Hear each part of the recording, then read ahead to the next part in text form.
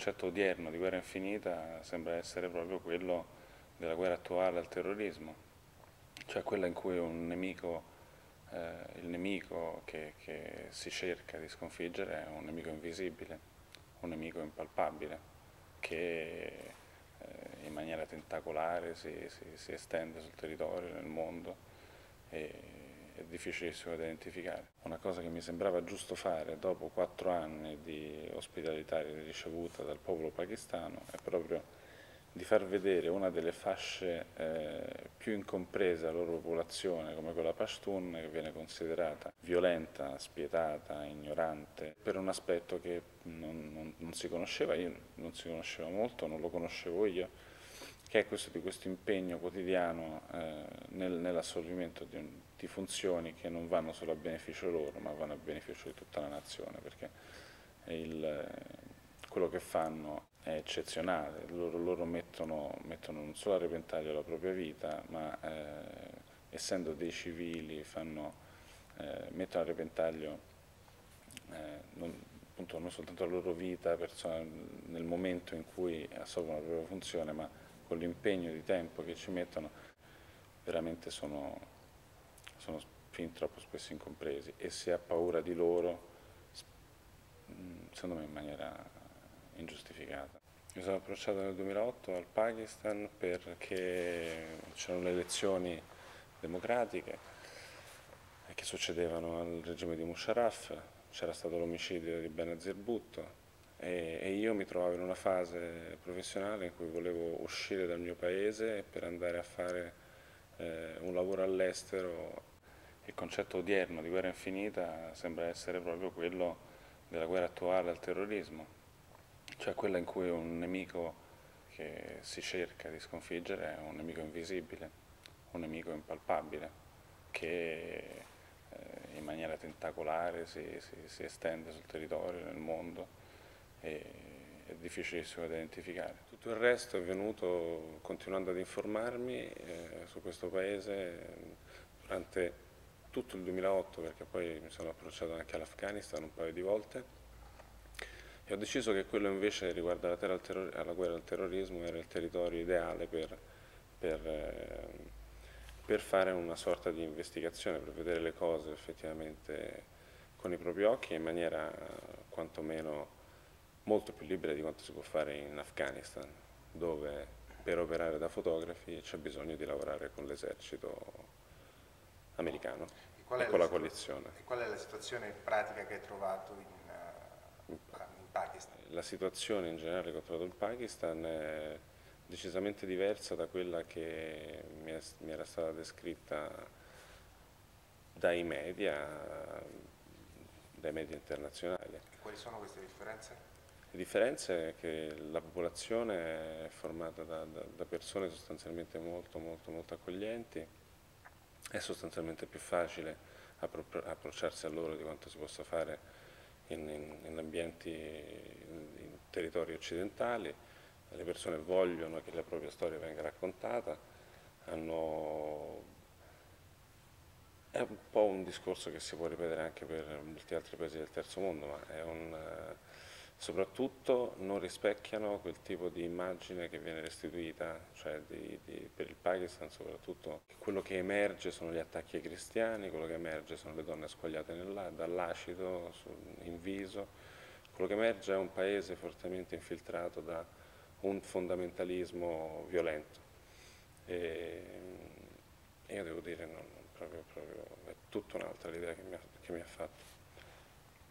Prima parlavi del possibile spostamento del centro del terrorismo internazionale o del presunto terrorismo internazionale dall'Afghanistan al Pakistan, come lo sì. concili con quello che hai trovato sul campo?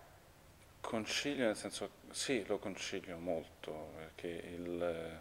questa è un'idea che mi sono fatto guardando alla stampa internazionale, guardando, a, guardando molto le politiche estere americane e eh, soprattutto guardando eh, quello che la stampa pakistana riportava delle relazioni tra, tra, tra, governo pakistano e governo americano. In tutta una serie di occasioni, riguardando la guerra infinita, eh, il Pakistan sembra, a mio avviso, eh, adesso sembrava a mio avviso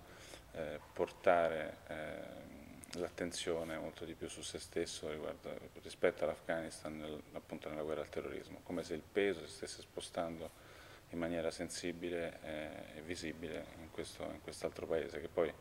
è il paese che storicamente è entrato per primo in questo, eh, in, nella storia di tutto il divenire di questa guerra è il paese che, che, che, che diede le basi, che, diede eh, i natali a, ai, ai mujahideen che poi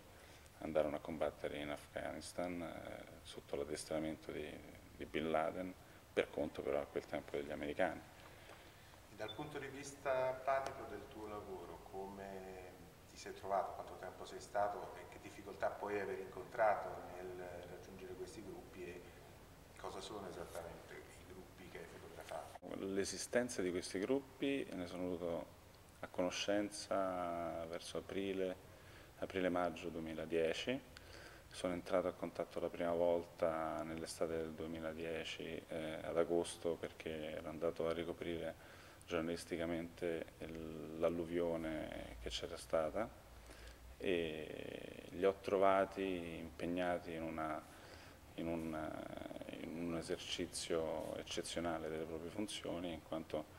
eh, dovevano pattugliare 24 ore su 24 per aiutare l'esercito a scongiurare il,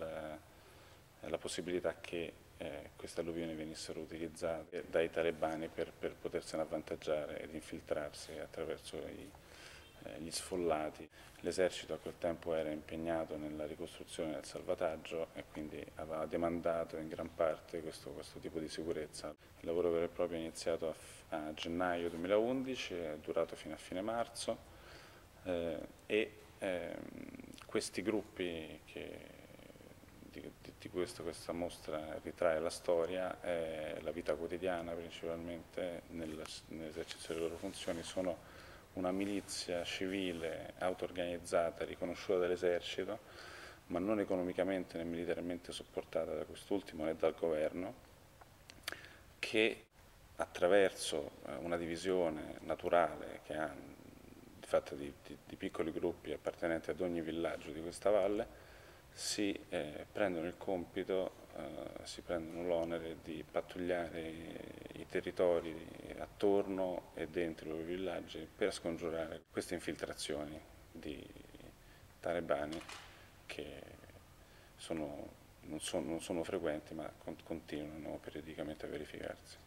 Parlando dello specifico del lavoro, quello che possiamo vedere in mostra a Parigi, c'è l'uso di diversi formati,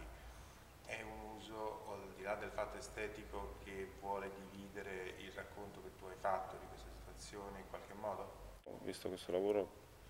eh, che si poteva dividere sostanzialmente in due parti. Il, il, il 35 mm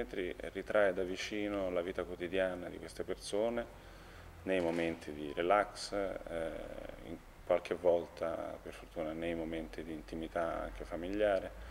eh, e eh, nell'assolvimento delle loro funzioni come, come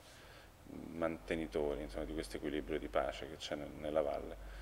E il panoramico invece più sorta, rappresenta più una sorta di, di retrospettiva rispetto all'occupazione talebana che c'è stata dal 2007 al 2009. Personalmente io lo considero un percorso in via di, di, di, di conclusione perché eh, sono quattro anni che sono in Pakistan e ho un'altra storia importante per quanto, riguarda, per quanto, mi riguarda da fare ancora, ma insomma prima di vedere un'evoluzione nel, nelle sorti di questo paese eh, ho, bisogno ho bisogno sia fisiologicamente che, che, che fotograficamente insomma, un, di, una pausa. E per quanto riguarda lo, questo paese, eh, nello scacchiere internazionale, eh, non, vedo, non, vedo, una facile soluzione dei propri rapporti nei confronti degli Stati Uniti eh, e quindi vedo purtroppo quasi inevitabile un'evoluzione in peggio. Il Pakistan è un paese che ha la bomba atomica, è l'unico Stato islamico ad avere la bomba atomica e visto come gli Stati Uniti si stanno approcciando sempre più spesso e volentieri nei confronti di questo paese da un punto di vista di rapporti non, non, eh, non, dà, non dà bene a sperare purtroppo. Tu vedi ancora un ruolo possibile relativamente al fotogiornalismo? Il fotogiornalismo è in grossissima crisi, non c'è, non, c'è dubbio. Il, penso che il fotogiornalismo, o chiamiamo magari eh, fotodocumentarismo, eh, in, al di là del, del, del, dell'utilizzo di queste immagini sui giornali, che chiaramente devono essere la principale eh, destinazione, eh, possa comunque continuare a vivere, sì, debba continuare a vivere attraverso fonti di finanziamento diverse, ma la funzione di documentazione storica contempora del contemporaneo credo che, che, debba e che ce la farà insomma, a sopravvivere in qualche modo. Queste forme, come si dice in journalism, eh, sono, sono, le forme tra le più pericolose, credo, perché eh, non, non, eh, no, non, sono certo queste che, a cui bisogna aspirare. Il, eh, quello che si può immaginare possa essere una soluzione, almeno che io spero sia una soluzione al, al a questo problema della svalutazione del, del, dell'immagine, dell'informazione, tra virgolette, insomma, professionistica o anche autoriale, insomma, eh, di chi si dedica quattro anni, chiaramente il sito del giornalismo è proprio tutto il contrario di chi si dedica quattro anni al paese, è proprio agli antipodi di, di questo tipo di produzione. E visto che eh, questo tipo di giornalismo non riesce più a fare riferimento ai giornali, io spero, mi auspico possa essere possibile che eh, il, foto, il, giornalismo, il fotogiornalismo indipendente possano in qualche modo unirsi e chiedere alle persone interessate chiaramente ad avere un tipo di informazione, eh, un, alla produzione di cultura in sé, perché l'informazione è cultura, di, di supportare direttamente queste forme ormai insomma, boccheggianti. Secondo te eh, le nuove tecnologie di diffusione della comunicazione in che modo possono influire? Mi riferisco a, banalmente a quello che ormai possiamo chiamare il buon vecchio internet piuttosto che all'editoria che si sposta in forma digitale su piattaforme tipo iPad o, o analoghe. È chiaro che per, per um, questo tipo di forme di indipendente giornalismo hanno bisogno di piattaforme di questo tipo perché sono quelle accessibili a tutti. Il problema collaterale che ne viene fuori è che è un, è un mare magnum infinito di, di, di, informazione che viene da internet, eh, uscirne fuori è, è complicato, se c'è bisogno comunque alla base di, di, persone, di lettori che hanno una gran sete di, di informarsi c'è bisogno di responsabilità anche da parte dei lettori, di una grande responsabilità da parte dei lettori.